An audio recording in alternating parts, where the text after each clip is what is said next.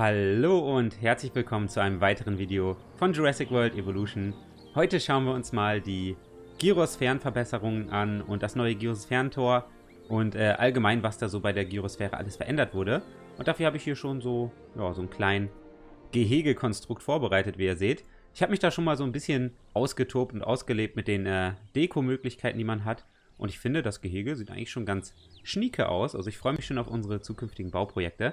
Ich würde sagen, wir schnacken jetzt gar nicht lange. Wir gehen jetzt direkt auf die Gyrosphäre ein.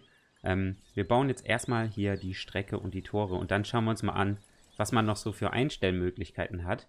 Und äh, ihr seht schon, das Erste, was einem auffällt hier, die Strecke, die man gezeichnet hat, die hat schon so eine andere Farbe hier. Also die ist ein bisschen auffälliger, daran sieht man besser den Streckenverlauf.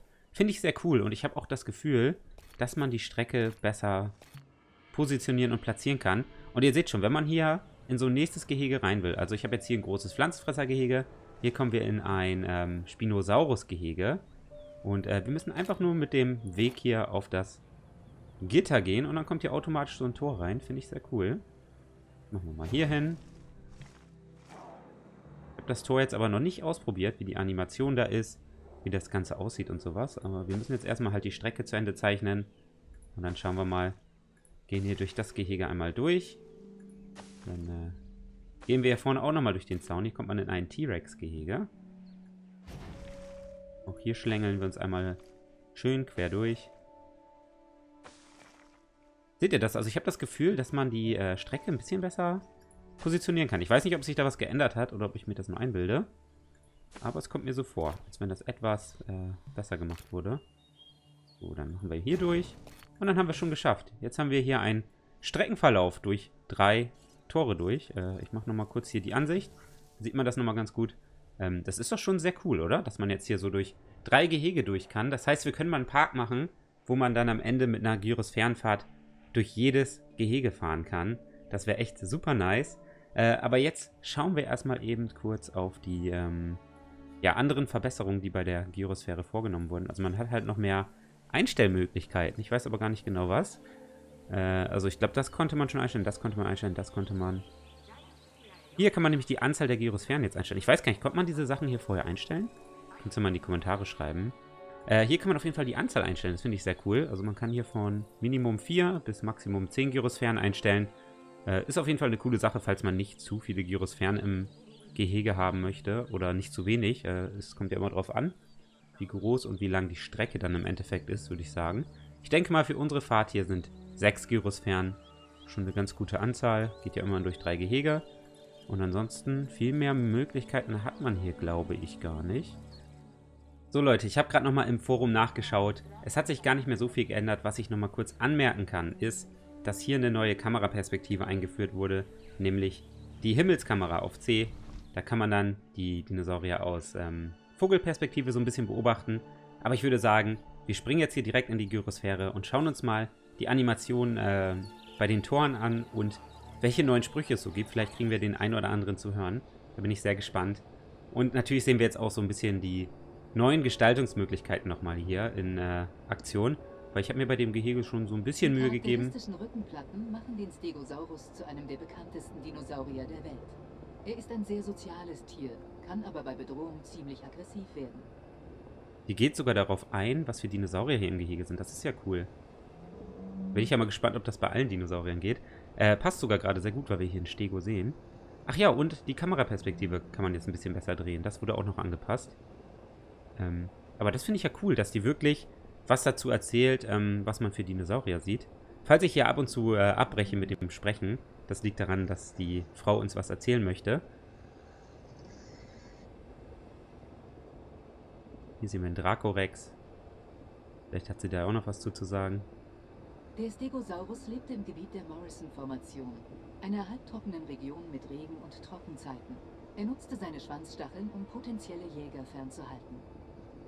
Hm, heute werden wir wohl sehr viel über den Stego ähm, informiert. Ach, finde ich sehr cool, was da für Informationen äh, erzählt werden. Ich bin jetzt gleich gespannt. Wir fahren jetzt hier gleich das erste Mal durch so ein Gyrosphärengate. Und äh, ich weiß gar nicht, ob man davor stehen bleibt und ob das dann so schleusenmäßig da durchgeschleust wird. Oder wie das Ganze abläuft. Da Bin ich mal gespannt. Also, dass man die Kamera besser drehen kann, ist sehr, sehr hilfreich. Da kann man wenigstens auch mal richtig nach links schauen und sowas. Hm, aber ich muss sagen, die Felstexturen sehen schon wieder ein bisschen matschig die aus. einzig bekannte Dracorex-Spezies gehört zur Gattung Dracorex hobbartia, dessen Name auf die Harry Potter-Bücher von J.K. Rowling zurückgeht. Oh, das war aber eine coole Animation mit den Toren. Werden wir gleich nochmal sehen. Und jetzt hat sie was zum Dracorex erzählt. Irgendwas mit Harry Potter. Ich habe leider nicht gerade äh, richtig zugehört. Und hier sehen wir jetzt einen Spino. Der geht gerade zum Fischfutterspender und snackt sich da jetzt ein paar Fische. Sind wir leider ein bisschen äh, zu früh dran. Wir sind jetzt schon vorbeigefahren. Aber macht nichts. Ihr seht auch den großen Baum hier. Den finde ich sehr, sehr schön. Wenn man den oben auf irgendwie so einem Felsen oder so einem Berg platziert, dann äh, bietet der schon einen sehr guten Schutz für die Dinosaurier. Finde ich nice. Der Spinosaurus lebte in Nordafrika und zählt zu den größten bekannten Theropoden und Fleischfressern, die jemals existierten. Oh, die hat ja wirklich zu jedem Dinosaurier was zu erzählen. Das finde ich echt cool. Nicht schlecht. Und das ist echt cool, dass die immer passend zu dem äh, Gehege halt erzählt. Äh, zu dem Dinosaurier, der in dem Gehege halt ist. Jetzt fängt es hier an zu regnen. Aber das soll uns nicht weiter stören. Jetzt achten wir gleich nochmal schön auf die Animation hier durch das Gate. Ähm, wir haben gerade auch nicht angehalten. Also da gehen halt so zwei Platten nach rechts und links auf. Und dann fährt man durch. Das sieht sehr, sehr schnieke aus. Ich freue mich schon darauf, wenn wir dann mal so einen Park bauen, wo wir dann durch jedes Gehege mit einer Gyrosphäre fahren, die richtig, richtig lang ist. Die Fossilienfundorte deuten darauf hin, dass der Spinosaurus in küstennahen Regionen mit Überschwemmungsgegenden, Sümpfen und Mangrovenwäldern lebte. Aus diesem Grund haben wir ihre Ernährung vor kurzem um frischen Fisch erweitert. Ja, das stimmt. Äh, aber das hat sie jetzt gerade ein bisschen spät gesagt, als wir das Spinosaurus-Gehege verlassen haben, leider. Aber immerhin kriegen wir hier ein paar Informationen. Jetzt befinden wir uns hier im Tyrannosaurus-Gehege. Mal schauen, was wir da für eine interessante Information bekommen werden. Hey T-Rex, zeig dich doch mal, versteck dich nicht. Der läuft da. Schade, dass ich nicht noch weiter nach äh, hinten drehen kann. Aber wir können natürlich noch so gucken. Ach, Kamera wechseln kann ich jetzt auch hier. Schaut mal. Ich kann den Sitzplatz wechseln. Cool. Der Tyrannosaurus Rex ist wahrscheinlich der bekannteste Dinosaurier aller Zeiten. Sein Name bedeutet König der Königsechsen und er repräsentiert für viele den ultimativen Jäger. Dieses beeindruckende Tier ist schon lange das Herzstück sämtlicher Dinosaurier-Attraktionen.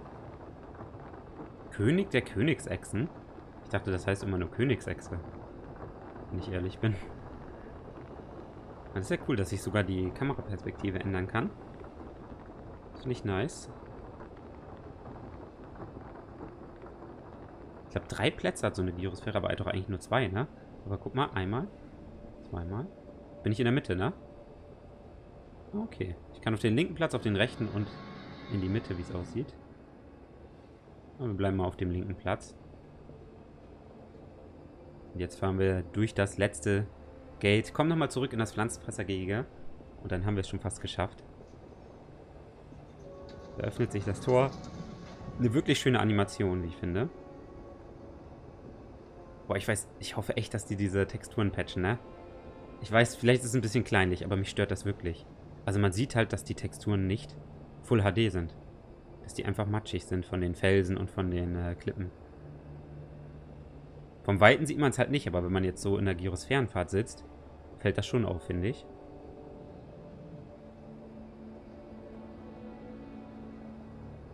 Der Name Brachiosaurus leitet sich von seinem unglaublich großen Humerus ab. Er ist so bekannt, dass sogar ein Asteroid nach ihm benannt wurde.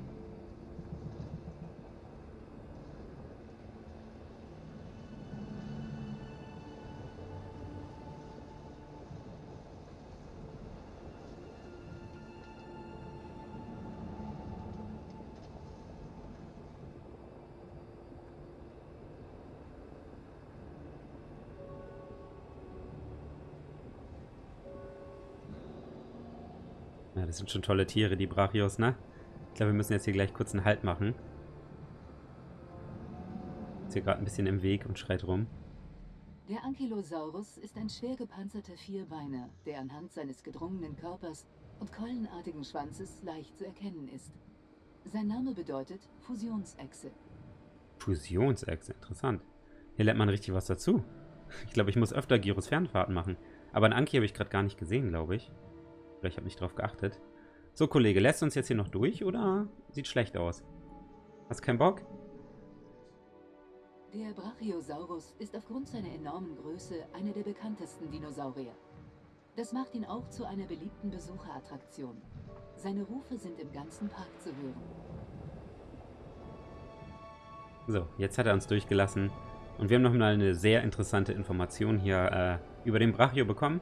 Äh, Finde ich echt cool. Also, dass sie wirklich zu jedem Dinosaurier anscheinend hier Sprüche eingefügt haben und Informationen, ist eine sehr, sehr nice Sache. Dadurch werden die Gyrosphärenfahrten auch noch viel interessanter. Und das war's, glaube ich, auch schon. Wir haben, glaube ich, jetzt einmal alles gesehen, was äh, neu hinzugekommen ist, was verbessert wurde.